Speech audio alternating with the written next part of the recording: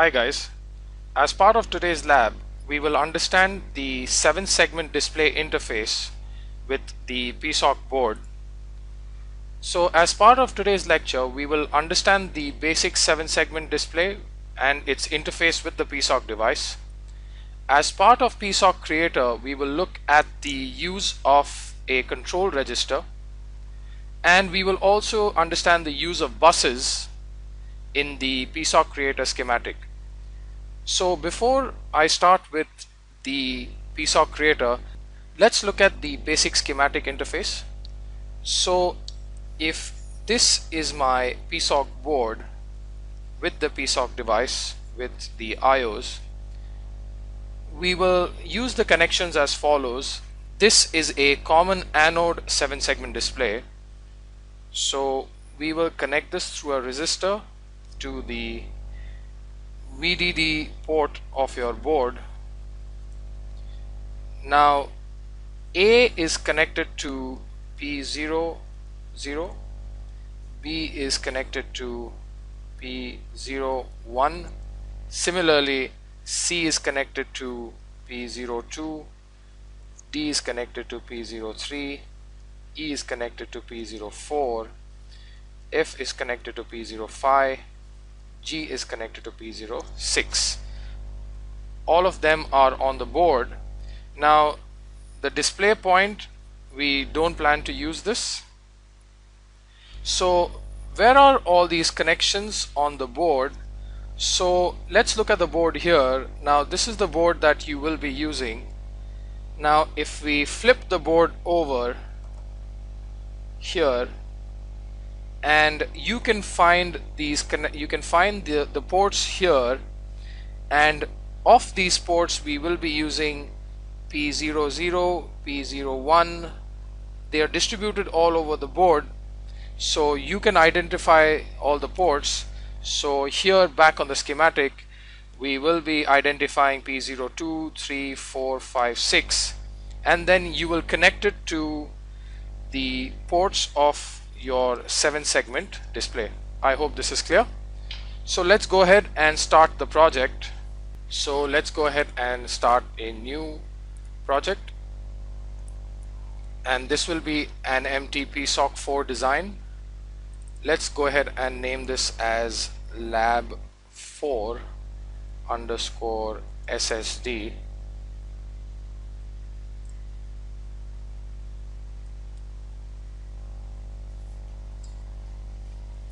So SSD stands for 7 segment display.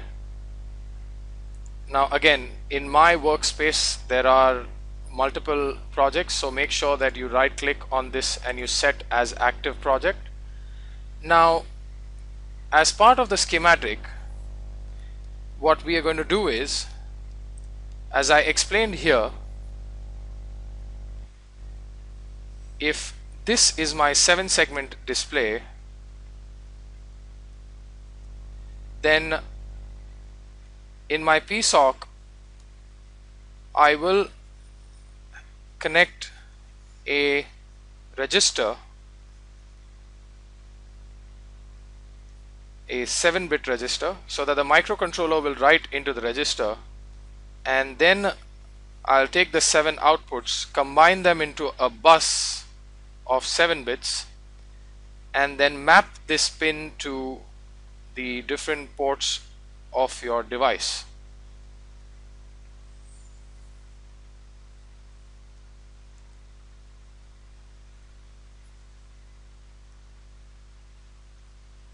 Now here this would be P00, P01 and so on.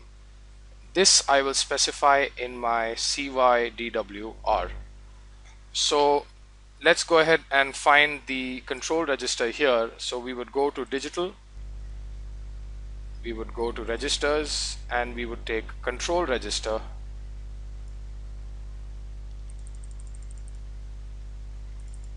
Let's go ahead and name this as LED REG which is LED register. Now since it's going to be a 7 bit register so the number of outputs will be 7 apply. Okay so again the control register to understand the APIs you can go ahead and read the data sheet.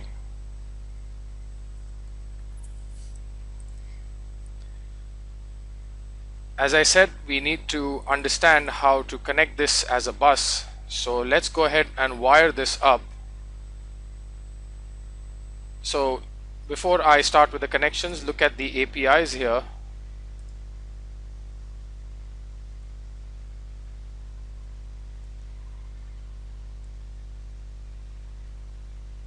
so we will be using the API the write API so we have to give it a uint8 value.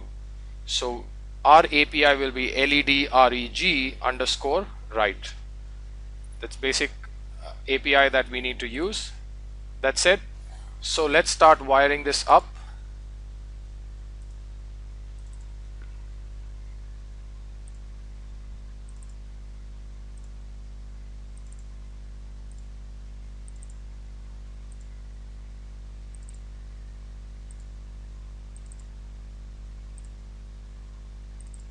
and then we will short these connections like this. So all these seven outputs are now commonly connected here and then we take a wire out here. Well you can do it from here here or here it doesn't really matter but we need to configure this as a bus. So let's go ahead and you can give it an output. Let's say let's give it a name as LED REG out it really doesn't matter. You can decide what name you would like to give. But more importantly you have to select this as a bus with a left index of 0 and a right index of 7 I'm sorry 6 so it's 0 up through 6 which is 7 bits. Go ahead and click on OK. So now this becomes a bus 0 down to 6 and now you have to individually configure each of these outputs to select which index of this total bus will this individual output be. So since this is the zeroth output we will configure this as 0 so this will be a single bit instead of a bus and the index will be 0 then we start with this one. We do the same thing.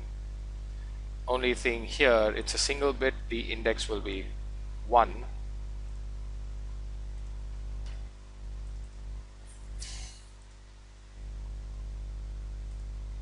and then we continue doing this for all the seven individual bits. Again you could use this individually as well. You can make seven different outputs. As part of this lab I just wanted you guys to know how to use the buses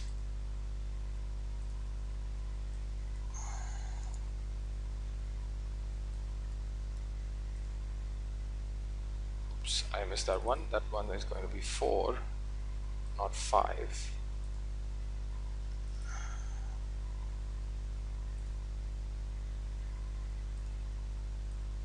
should be 5 and this would be 6 so now we've individually mapped this. You just want to confirm here that there are no errors.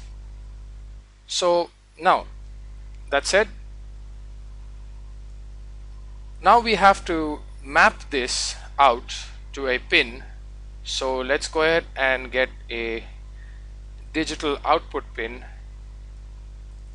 Let's configure this and call this SSD out. Now since there are seven pins here so this will be seven. And you can say it displays as a bus. Now let's say if I don't display this as a bus what is it going to look like? You actually get eight uh, seven individual pins like this. Now we don't want it to be like this so let's go ahead and display this as a bus.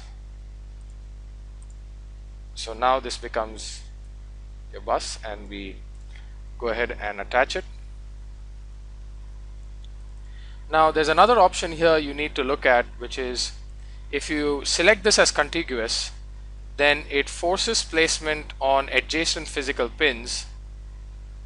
Now in our case we need to look at if these are adjacent physical pins. So how do we know that? Let's go ahead and look at it here.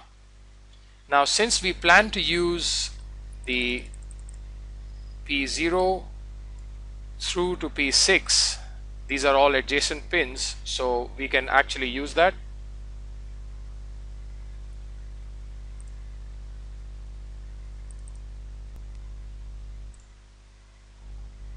Well that's it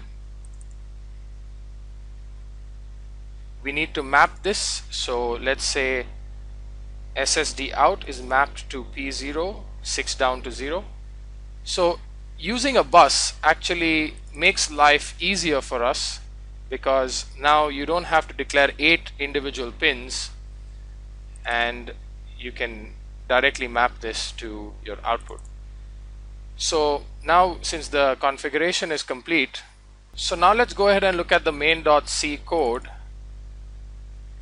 now I've already written this code up so I'm going to explain this to you guys. Now we're going to use a uint8i the variable which we'll be using to write into the control register. We make a function called as count and the input is an integer file which we are passing which will be a variable of type uint8 and in our main function we create a for loop this is the infinite loop in which I'm creating a for loop which counts from 0 to 9 and depending on the value of i it actually passes the value of i to this function count. Now this function count is a switch case. Depending on the value that you give here that particular case gets selected. And as part of that case I'm using the API underscore write to give the value to the control register. Now these are the values for displaying. Let's take an example. Since my lowest bit is A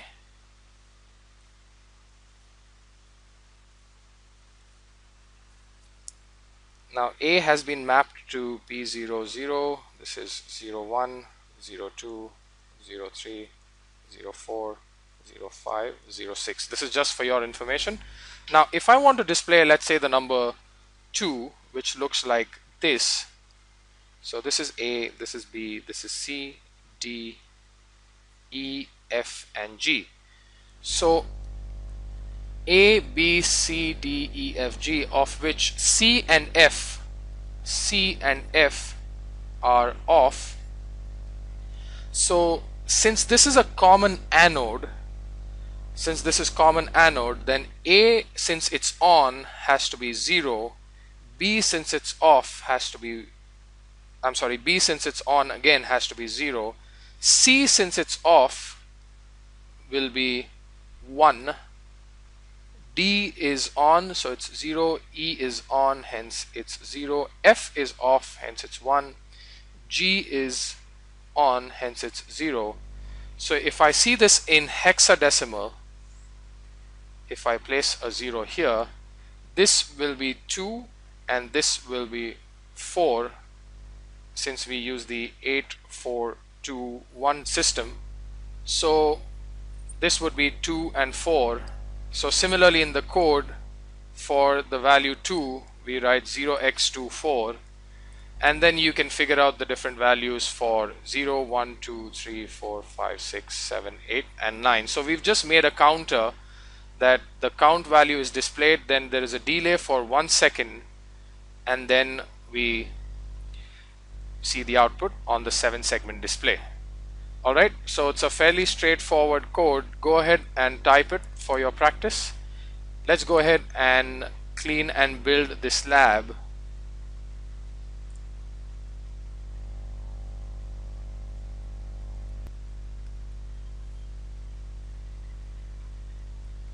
Alright, so once the build has succeeded, now we will go ahead and program the board. Let us go ahead and look at the board here now this is your seven segment display. This is A, B, C, D, E, F and G. This is the display point so this connection here this one will be right here this the second one from my right will be your A this is B so we know that A has been connected to P00 so th that is this wire here and that this connection comes out to be here. This one is P00 now how do I know that? This is printed at the back of this board. So now you can identify each of these connections.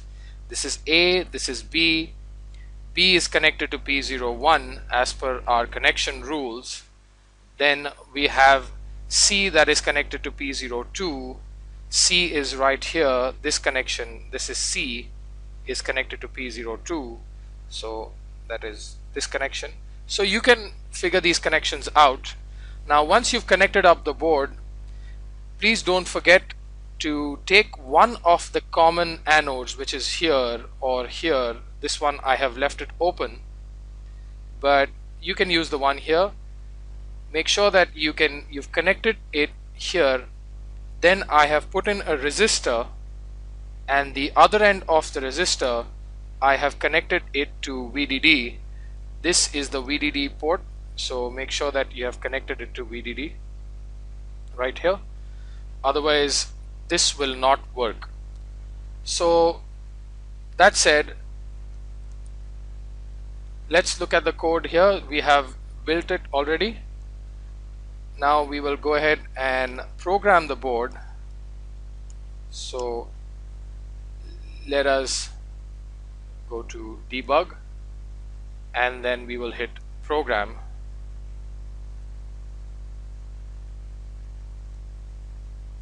Now let us look at the board here. Once it gets programmed let's see the output of the board now if you look at the output here it's actually a very bizarre output.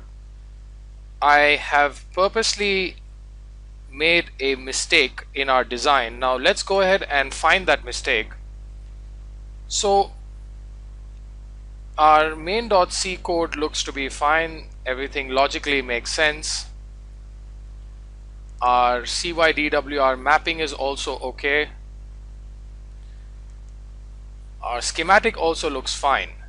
Now the mistake that I have made is that here the left index is 0 and the right index is 6 so actually 0 is actually mapped to 6 and 6 is mapped to 0 that's not the case. Please understand that. Now let's rectify this and make this 6 as the left index and 0 as the right index when I was explaining the design I knew I was making this mistake so please go ahead and correct this. But I wanted to explain how logically if your output does not make sense the different places that you can check or you can debug one of the places is here is your mapping. Another place to check is your pin assignment. And the third place that you would want to check are the values that you are writing here. So that said let's go ahead and clean and build this project again.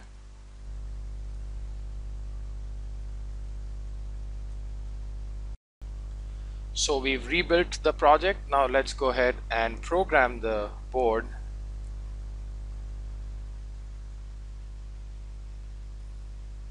Now as you see here the output is now absolutely correct so again if your output on the 7 segment display is not turning out to be as it is you might also want to look at your physical connections that you made here. And well this LED is glowing because of the internal wiring but this is the output as expected. We have the counter. Now let's go ahead and check if what we are doing is correct. Instead of having a one second delay let's make a half a second delay that is 500 milliseconds. Let's go ahead and program this again. And let's see the output. So you see that the counter speed just increased. So as part of this lab, we saw the interfacing of your PSOC board with the seven segment display and on the PSOC creator here we understood the use of a control register of how we can make a bus how we can use the outputs as a bus and in contiguous mode. So I hope this part of the lab was clear. Now in the next lab we will see the interfacing of the PSOC a character LCD I hope this lab was clear. Thanks guys